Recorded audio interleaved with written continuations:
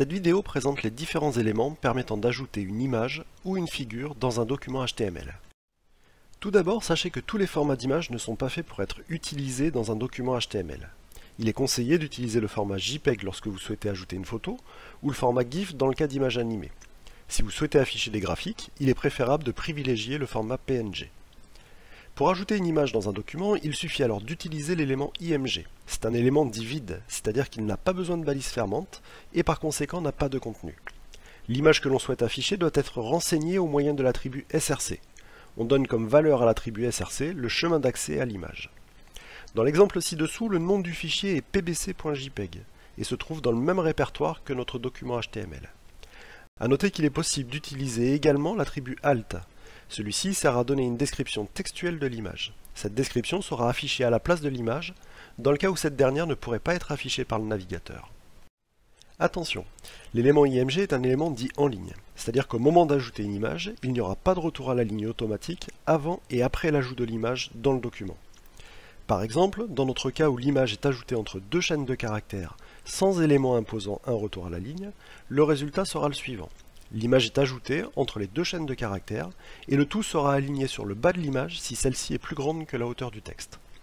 Notez que par défaut, l'image sera affichée avec cette dimension d'origine.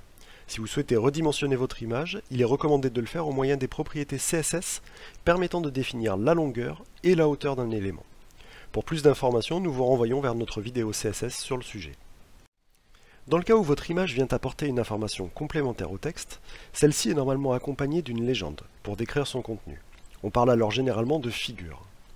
Pour créer ce tout, image plus légende, vous devez utiliser l'élément figure dans lequel il vous faudra mettre votre élément IMG. Si vous souhaitez accompagner votre image d'une légende, celle-ci sera alors ajoutée dans un élément fit caption, qui devra lui-même être ajouté au contenu de l'élément figure. Reprenons notre exemple précédent. Nous plaçons cette fois-ci l'élément IMG dans un élément figure. L'élément figure est un élément dit de type bloc, c'est-à-dire qu'un saut de ligne automatique est effectué avant et après la figure. Nous pouvons voir sur la page HTML créée que les textes sont cette fois-ci au-dessus et en dessous de l'image. Enfin, l'élément FigCaption nous permet d'ajouter une légende à notre image. Cet élément est ajouté dans l'élément figure et la légende vient se positionner sous l'image dans la page HTML créée. Cette vidéo sur l'utilisation d'images et de figures dans un document HTML est terminée. N'hésitez pas à poursuivre sur le langage HTML avec nos autres vidéos dédiées aux différents éléments HTML. N'hésitez pas à nous envoyer vos questions ou commentaires sur la vidéo à l'adresse petitboutdecode.gmail.com.